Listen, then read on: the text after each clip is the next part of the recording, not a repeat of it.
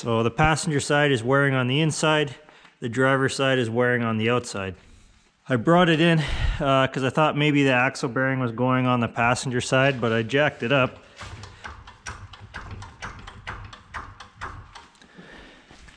I jacked it up and everything is nice and tight. You know, there's nothing going on there. The bearing's still good. Uh, so originally I just thought it was the axle bearing going on the passenger side.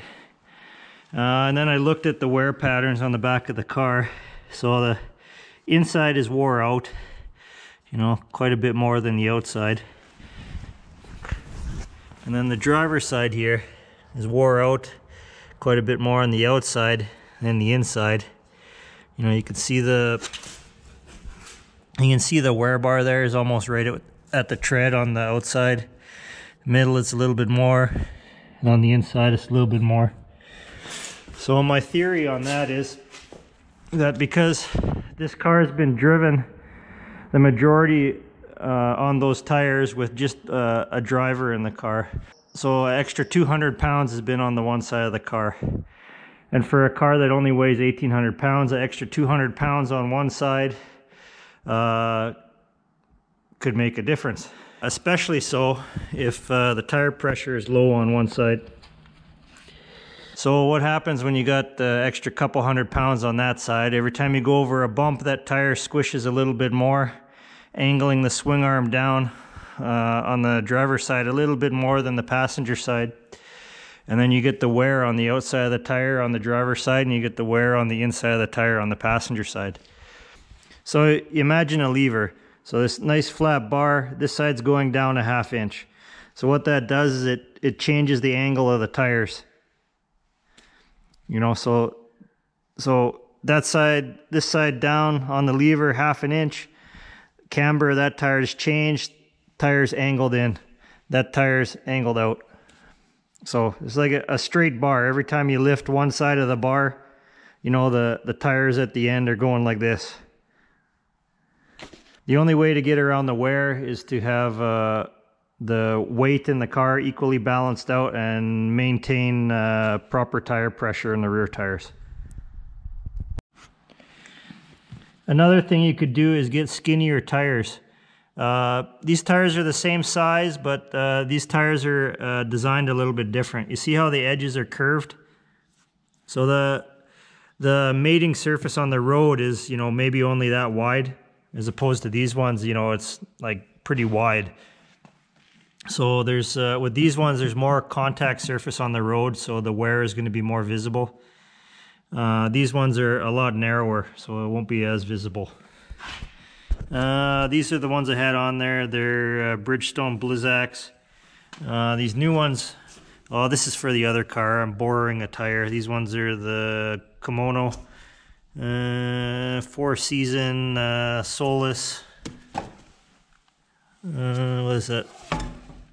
HA32s. One thing you could do if you want to uh, fix the camber on your car and uh, I'm not condoning this. You do it at your own risk. So, so your uh, bearing and your hub assembly, everything held on by those four bolts, three, four. If you really wanted to, uh, depending on how you want to adjust your camber, you could take out the two top bolts, you could take out the two bottom bolts. Uh, I would loosen all four off. Uh, then you take out the two bolts where you want to adjust your camber and you get the two washers got to be exactly the same size uh, the same thickness uh, probably don't need them to be too thick they can be just little thin washers and uh, grab a chisel you pry that out a little bit shove your washer in there between the back of your hub and uh, the swing arm uh, mount there and then you just tighten it up and that'll uh, give you a little bit extra camber out or a little bit extra camber in. Uh, if you want camber in, you put the washers on the bottom. So you want camber out, you put the washers on the top. So uh, other than uh, welding, other than cutting and welding and uh, realigning everything, uh, that's probably the easiest way to adjust your camber. Uh, just remember, uh, if your habits do change, so so say you adjust the camber, so you're not getting the weird wear pattern on the tire, and then your driving habits do change. Like all of a sudden you get a girlfriend, and now there's two people in the car everywhere you're going. Just uh, keep in mind that it's going to wear on the other side now. So uh, the wear isn't too bad. I suggest just leave it the way it is, because life changes, and you don't want to be going back in there and removing washers and putting washers. Uh, you know, tires are not that expensive. So, uh, yeah. And if unless it's really bad, uh, I would just leave it. So here's a picture of the rear bearing and hub assembly. So what you'd be doing is uh, you'd be putting a spacer in between uh, two of those uh, bolt holes there. And it still has this lip to sit on, so as long as you just adjust your camber just a little bit, like put a super, super skinny washer in there, uh, it probably is not going to cause any problems. But uh, don't do it because uh, who am I? Don't listen to me. But if you have, if you really insist on adjusting your camber, uh, you have to pull out the CV axle and then your four bolts. You got two bolts at the top and then two bolts at the bottom. So once you get your CV axle out, then you can take those bolts out. Uh, just uh, loosen the ones on the bottom or loosen the ones on the top. Uh, and then wherever you want to uh, adjust your camber, you just uh, take those bolts out, pry it out a little bit, shove your really thin little washers in there. Just remember, a little, a tiny little washer will make a big difference. So uh, make sure your washers are the same size and then uh, bolt it back together.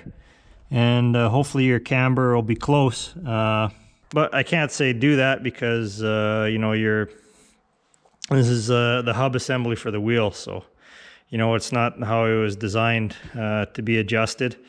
So I can't say do that. So if you want to do that, that's 100% your decision. it's not very difficult to do. So don't do it because uh, I pointed it out. Uh, do it because uh, you know you really want to adjust the camber on your rear tires, and there's no real other way of doing it other than uh, cutting and welding or uh, heating something up red hot and hitting it with a hammer. Uh, there's no other real way to adjust the camber. So yeah that's one way you can do it. Just uh, unbolt your uh, rear axle hub assembly, throw a couple washers on the one side, tiny washers. The bigger the washer, the more unsafe it's going to be. So use just little thin washers and a little thin washer uh, will make a big difference in the camber. Uh, if it's just a small issue, I suggest not even touching it. Just uh, buy new tires. You know, it's not that big a deal. But uh, yeah, if you have an issue with your car, it's always been bugging you, you want to change the camber, uh, that's the easy way to do it. There's your rear hub assembly there. So if you want to adjust your camber that way, uh, throw your washer on the inside instead of the outside. And that way you're not going to have a crack uh, filling up with uh, all kinds of uh, sand and road debris there. At least uh, if it's inside the hub, then it's going to be a little bit protected. I'm just uh, giving a solution, uh, easy solution other than welding and grinding if someone wanted to adjust the rear camber on a car. You could also make some kind of metal wedge for in there also. You never know, they might even sell, sell some kind of wedge kit where it's thicker on the one side than it is on the other side and you just slide it in there. Possibly. But anyway, yeah, a thin little washer would probably do the trick too.